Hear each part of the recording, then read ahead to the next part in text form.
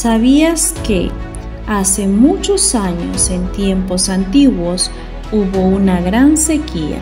El espíritu de la Pachamama le pidió ayuda al sol. Este poseyó a Pachamama y de esta unión divina nació un niño, Bichama.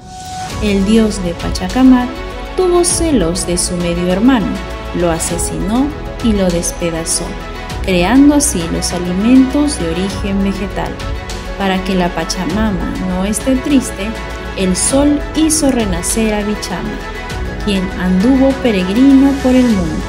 A su regreso, se entera que Pachacamac asesinó a su madre.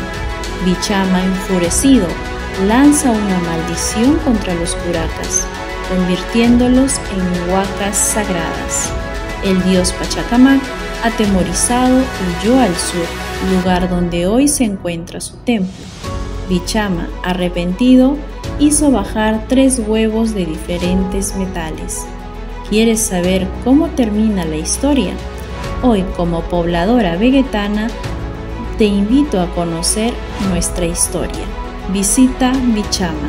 Contáctame para conocer esta milenaria civilización.